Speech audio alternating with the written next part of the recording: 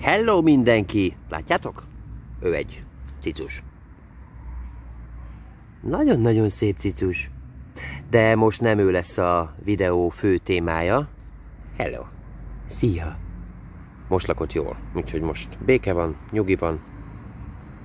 Milyen szép vagyok, meg is mutatta magát a világnak. No, nem ő lesz a videó fő témája, hanem ez a szépség és ők. Mert hogy nagyjából négy vagy öt évvel ezelőtt készítettem egy videót, saját magam most nem mutatnám meg, mert nem én vagyok a videó lényege, amúgy sem. Készítettem egy videót, ami nagyjából az volt, hogy ezt az antennát körbejártam. Nos, azóta ez a videó Afganisztántól Németországon át bejárta az internetet, a világot, a mindent, és ha hiszitek, hanem még feliratkozókat is gyűjtöttem, amit nem is hittem volna és mivel a magyar YouTube-on még nem láttam hasonlót, azért szeretném most ennek az antennának a működését hát bemutatni nagyjából.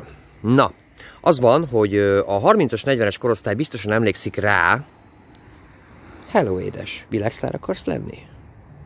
Szóval mindenki emlékszik rá biztosan, hogy a 90-es években bejöttek az első parabola antennák, akkor még analóg sugárzás volt, és volt a Magyar egy, a Magyar kettő, és azon kívül, ha valakinek az utcájában volt egy parabola antenna, akkor, akkor ő már nagyon nagy sztárnak számított, mert uh, akkoriban ezek még drága dolgok voltak, viszont elérhetővé vált Európa. Na ez így van a mai világban is, attól független, hogy digitalizálódott az egész világ, és uh, és nem tűntek el a, a műholdas technológiák, sőt továbbfejlődtek, most már három sávot is használnak erre a történetre. Van egy KU sáv, ez nem tudom ennek mi a lényege, talán a kábel szolgáltatók számára ö, sugároznak itt, nem vagyok benne biztos. Van egy C sáv, ami a 4,8 vagy talán 4 GHz-től 8 GHz-ig terjedő sávocska, és ö, van egy KU sáv, ami a 10,7-től 12,7 GHz-ig terjedő sávot foglalja magában, és ez utóbbiról szeretnék most pár mondatot váltani veletek, meg hogy miért is jó egy ilyen, vagy akár egy ilyen, vagy igazából bármilyen parabola a mai világban. Ugye van Magyarországon három DTH, azaz Direct to Home szolgáltató, tehát közvetlen az otthonodba típusú műholdas szolgáltató, aminek, aminek, vagy amiknek a parabolás jelnek igazából az egésznek a lényege, hogy lakhatsz te egy erdő közepén, lakhatsz te város közepén, lakhatsz vidéken, bárhol igazából, mert parabola antenna, tehát az égi jel, az, az, az mindenhonnan jön, mindenhol elérhető, már ahová sugározzák, ugye.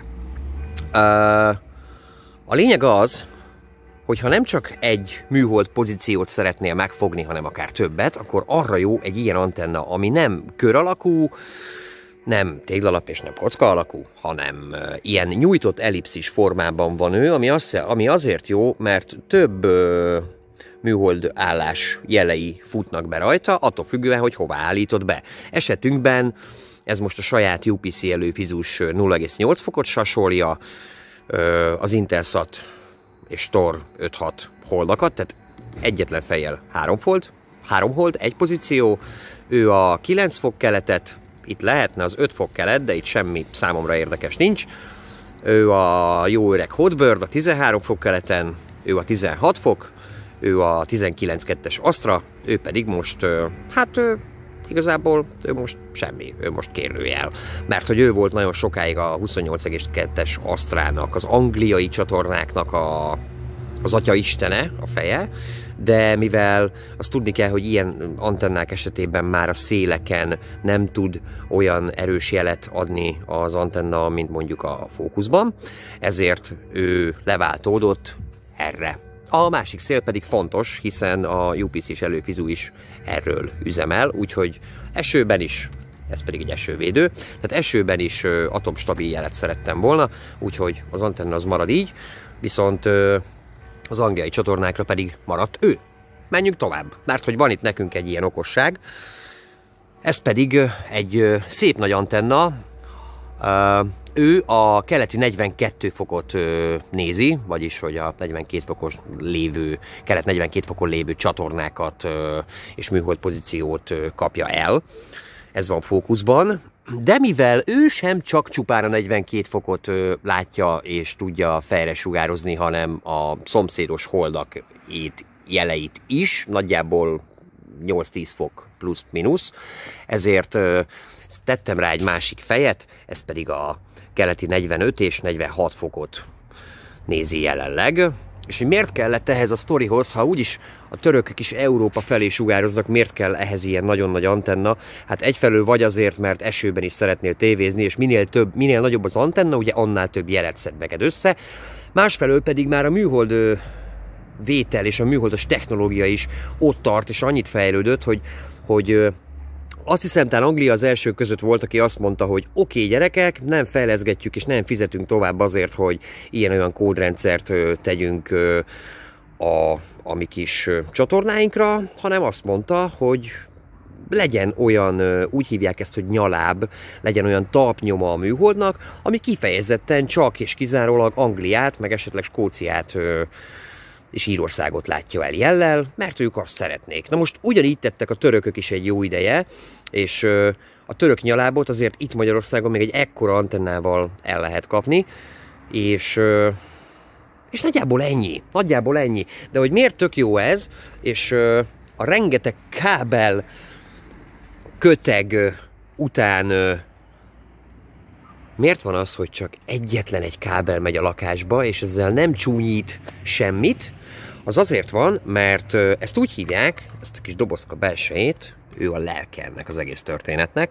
Szóval ezt úgy hívják, hogy diszek kapcsoló, ami azt, azt teszi, hogy én oda benn a kedvenc listámban, mondjuk legyen az zeletévék például, beállítom a kedvenc csatornáim. De az egyik az ezen a holdon van, a másik valamelyik ilyen holdon, a harmadik pedig azon a szép nagy antennán. Hello, cica! Szóval ilyenkor van az, hogy én csatornát váltok oda benn, és a beltéri parancs, tehát a kis boxocska parancsot küld ennek a kis kapcsolónak, hogy az egyik csatorna, amit néztem, az a kettes fejem volt, és akkor most kapcsolja át a hármas fejre. És ez sokkal-sokkal jobb és egyébként stabilabb megoldás, mint, mint a forgómotoros történet. Az sem egy rossz sztori egyébként, csak manapság már olyan ö, parabolantenna forgató motorokat gyártanak, hogy hogy, hogy azok ne 20-30 évig működjenek a felhasználóknál, mert az elavulás története és az elavulás elve alapján inkább tesznek bele műanyag fogaskerekeket, és egész egyszerűen emiatt már nem nagyon éri meg forgatómotorokkal kísérletezgetni és használni, de ettől még vannak annak is hívei és lelkes felhasználói, itt országon belül is egyébként. Előnye, hogy, hogy akár 100-150 fokot is belát egyetlen antenna. Csatornaváltáskor ott egyszerűen elindul a motor, és adott csatornára kapcsolja az ember a tévét, akkor ő elindul az adott műhold pozícióba. De eközben azért eltelik 5-10 kötőjel, 20 vagy akár még több másodperc is, míg egy ilyen diszek kapcsoló esetében ez egy pillanat alatt megtörténik, tehát a másodperc tört része alatt. Úgyhogy ennek igazából ennyi az előnye. De hogy miért jó ez az egész sztori, azt már is mutatom a tévé előtt. Na, milyen gyorsan már ide is értem, itt is vagyunk a tévé előtt. Szóval, kedvencek lista, ugye ennyi fej és e- e- ennyi sok antenna esetében már neked több ezer tévécsatornád lesz. A probléma csak az, hogy valószínű a 10%-át nem fogod nézni. Nekem összességében nagyjából ilyen 2001 néhány csatornám van, és Hát ha az 5%-át nézem, akkor sokat mondok. Viszont minden holdról van egy-két kedvenc, szóval nem baj ez a rendszer. Szóval ilyenkor van az, hogy kedvenc listát kell csinálni, mint esetemben, ha jó gombot nyomnék. Szóval, esetemben úgy néz ki a sztori, hogy hírek, filmek, zene, sport és oktatás. Ja, és gyerek, persze, azt se hagyjuk el. Szóval én leginkább a zenékre vagyok specializálódva, nem csak azért, mert van némi, némi nemű rádiós múltam, és szeretem követni az újdonságokat, hanem amiatt is, mert, mert egyébként is nagyon-nagyon nyitottnak tartom magam, és ö, szeretem a, a, az újdonságokat, és most ne csak az MTV-re gondoljatok, sőt, leginkább ne az MTV-re. Elhiszitek nekem, hogy igen, ezek a UPC-s fizetős csatornák, azonban elhiszitek nekem, hogy hogy ezeket a legeslegritkább esetben szoktam nézni, elmondom miért. Megkérdezhetnétek, hogy összességében, ahogy látjátok is, 79 zenetévé van jelenleg beállítva, ettől persze lehetne több is, hogy mi az Istennek ennyi zenetévé. Hál' Isten tematika húzódik mögöttük, a román Moose például csak elektronikusattól, az ócskó ők, ők szlovák zenetévé, Hmm, akad, akad náluk néha egy-két olyan műsor, ami, ami érdemleges. Például uh, trance típusú zenei koncerteket szoktak zúzni szombat esténként, az teljesen baráti. A UTV az sokaknak ismerős lehető egy román zenecsatorna, ez úgy szint, és meg is érkeztünk az angol zenecsatornákra, amikkel szintén van egy-két problémám, mégpedig annyi, hogy egészen, egészen ez még mindig Anglia, még mindig, mindig. Ez is akár. Szóval annyi a problémám az angol zenecsatornákkal, hogy javarészt ők le vannak szerződve kiadókkal, gondolom én, és innentől fogva van az, hogy csak annak a kettő-három kiadónak a zenei palettáját erőltetik. Vannak benne újdonságok, nem mondom, hogy nem, de nem az én világom. Az pedig most direkt van, hogy én, én frankón rábeszélek minden egyes zenére, mert nem szeretném, hogy a YouTube azonnal le is tiltsa néhány másodperc szösszenet miatt a, a videót. Ez például egy ukrán zenetévé, ami orosz zenék mellett jellemzően szokott adni nyugati slágereket, és nem összekeverendő egyetlen angliai zenecsatornával sem, mert mint mondtam, ők, ők vagy más kiadókkal vannak szerződésben, vagy konkrétan senkivel, innentől azt játszanak, amit akarnak, tehát nyugati popzenék közül, amiket majdan valamikor játszani fognak magyar zenetévék vagy zenerádiók, itt hetekkel előtte lehet hallani már zenéket. Aztán megyünk tovább, ez ugye a 9 fok és 10 fok kelet feje, ez pedig a német MTV. Kihinni, a német verzió kódolatlan. Ahol ugye erősebb a gazdaság, ott ugye ők egy osztrák zenetévé, aztán itt vannak mellette, igen, Deluxe Music, ők német szintén, hit rádió, hát jó, ez igazából rádió, de tévécsatornaként óhajtanának ők működni. Live-ot annyit látunk csupán, hogy stúdiókép kanyarban sem, csak hogy milyen előadó volt és lesz. Zeneileg viszont egész jók, jobb, mint a Petőfi, pölö. Uh, megérkeztünk a jó öreg Hotbirdre, itt rengeteg zene tévé van, és ha hiszitek, ha nem, én nem is tudom, hogy hogy fér meg egymás mellett ennyi zenecsatorna, néha szokott ilyet játszani a beltéri. Tehát én nem is tudom, hogy hogy fér meg ennyi zenecsatorna, azonban nagyon sok a lengyel. Ez a Nuta TV is lengyel, ez az SK TV is lengyel, a Forfan is lengyel, és megérkezünk az olaszokhoz, akik előszeretettel csinálnak olyan disztribúciókat, hogy rádió és tévé egyben. Ezt úgy kell elképzelni, hogy amikor a rádióban megy a zene, akkor a tévé adón mennek a klippek, és a kettő zene közti történetben pedig a, a, a, a, stúdiót mutatják, és láthatjuk is. Próbálok elkapni most egy ilyet. Hát, ha szerencsém lesz.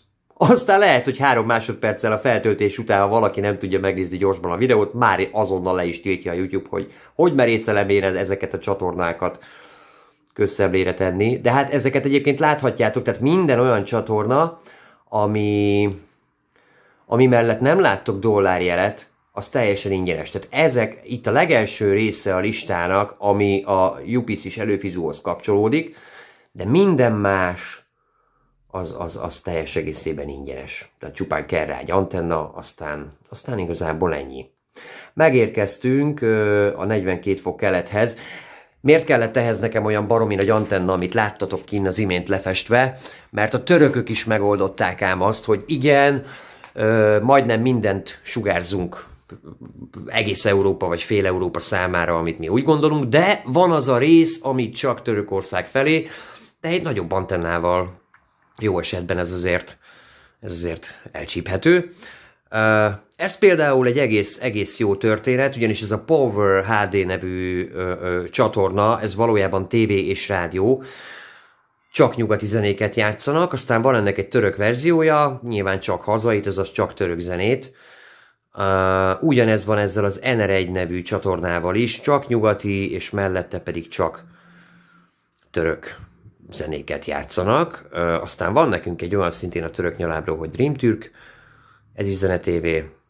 Ez pedig már a 46 fokról jön, szintén egy török csati, Billboard listával karöltve. Amikor rádióztam, és soha nem értettem a, a Billboard listákat, mert a hip-hop zene mellett jönnek a country zenék, és ugye két stílus, ez hogy az Istenbe fér meg egymással, ezt a mai napig nem értem, de azon a csatornán is egyébként ez van. Ez pedig már a City TV nevű csatorna, akik annó digisek voltak pár évvel ezelőtt, talán emlékeznek rá, mert ez is régen a 0,8 fokos pozícióban foglalt helyet, mint kódolatlan ingyenes csatorna. Kiköltöztek a 45 fokra, de attól még maradtak, szerintem Albánia a legnagyobb, ja nem, bocsánat, Bulgária, Bulgária a legnagyobb zene, tévéje és rádiója, tehát a legnagyobb kereskedelmi vállalkozás, mondhatjuk ezt így. És akkor még nem beszélgettünk se a sportcsatornákról, se az oktatáscsatornákról, de hát mindenre igazából nincs is idő úgyhogy nézzétek el, hírcsatornából nem tudtok olyat mondani, és látjátok, sehol sincs dollárjel, tehát ez mind, mind, mind, mind, mind, mind, mind ingyenes. Úgyhogy, úgyhogy ha valakinek van egy kis angol nyelvtudása, akkor, akkor az, az, az biztos, hogy talál, talál magának valót, talál magának nézni valót. Egyszer szántam rá magam egyébként, hogy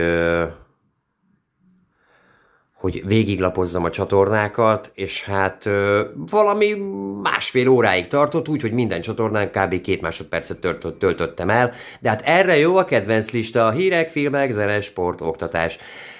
És akkor a videó végén most itt beszélgessünk még egy picit a piszkos anyagiakról. Hát én azt gondolom, hogy parabol antennát, ami jó lehet egy ilyen történetre, azt nagyjából majdnem, hogy ingyen is be lehet szerezni, hisz sokaknál csak sokaknál csak porosodik. Ha pedig ez megvan, akkor, akkor igazából egy box, egy beltéri az, ami szükségeltetik még. Ugye ő kezel, kezel itt nekem mindenféle parabolát és fejet, és egyetlen távirányító tartozik hozzá. Igen, sokan nem szeretik a boxokat, de, de higgyétek el, sokkal okosabb és sokkal intelligensebb, mint bármilyen tévébe rejtett ö, tuner, mert a TV is tudja a DVB-es, tehát a műholdas tuner, tehát műholdas vételre alkalmas, de ha egyszerű megoldást szeretnél, akkor igen, akkor, akkor felejtsd el. Nem, tehát az a baj, hogy a tévéknek a szoftverfejlesztői, írói, azok olyan szinten szeretik túl bonyolítani, látjátok milyen por van itt? Azt a mindenit neki. Nagyon gyorsan porosodunk. Olyan, mintha nem takarítottam volna egy éve. Pedig, de, higgyétek el.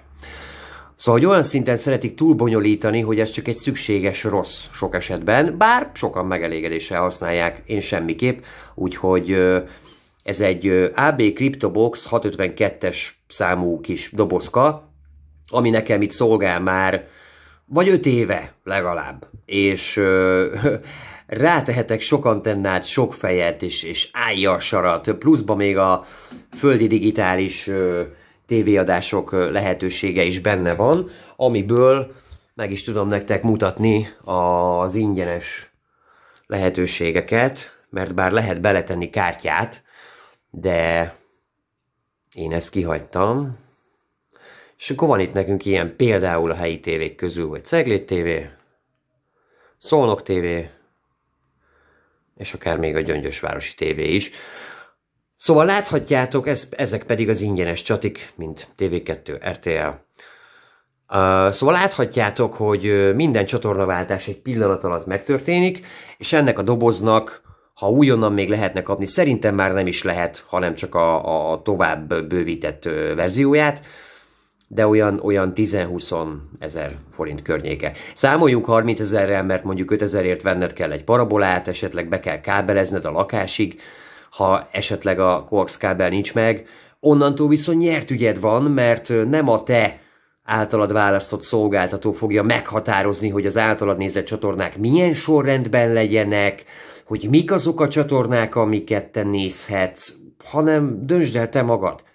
Szóval lényegében erről akar szólni ez a videó.